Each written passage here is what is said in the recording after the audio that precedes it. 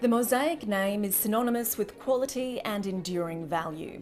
It's one of Queensland's most awarded private property developers, with its projects consistently among the fastest selling because of the quality and size of their apartments, the amenities on offer, and their prime locations. The Mosaic team has a unique end to end approach to managing every aspect of the development process. They retain the management rights of their developments for at least 25 years post completion to ensure your investment is well looked after, attracts first class tenants, and achieves above market rental rates the company consistently delivers architecturally iconic developments in prime investment locations, such as Brisbane's Inner West, where Mosaic is set to embark on its next residential development, the Kensington. Due to launch in March 2021, the Kensington will be Mosaic's second boutique luxury release to the sought after Inner West suburb of Toowong.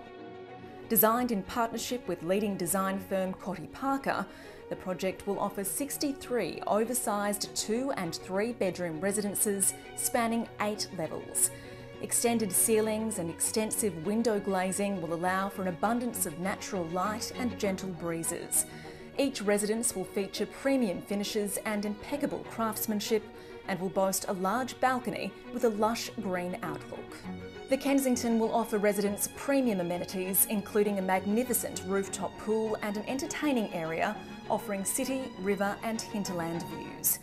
Just three kilometres west of Brisbane CBD, the Kensington will be prominently positioned in a vibrant inner city suburb that has proved to be one of the city's most resilient housing markets.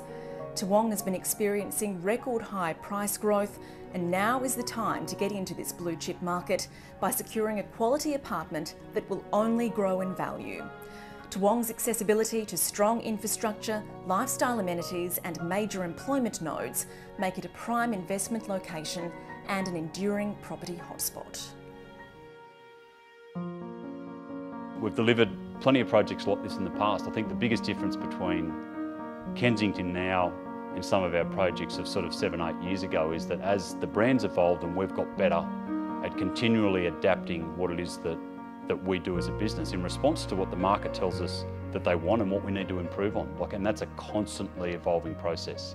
So we never arrive at a point where we think we've got the formula sorted because we never do, because it's constantly changing. And so what's lovely about Kensington is that, it, yes, it's a beautiful building in a fantastic location, but it also reflects how far our brand's evolved in terms of design, in terms of how we approach the smaller details that actually make a difference once people move into a building. So when you look at you know, the lobby in the Kensington and some of the details around private entry doors and then how's that functional layout work based on feedback over time from other people who've lived in similar mosaic buildings and then the approach to amenity has also evolved in response to our buyer feedback over time. So we're, we're pretty excited about Kensington because it is, it's a bit more of the mosaic of old, but also very reflective of the mosaic of new.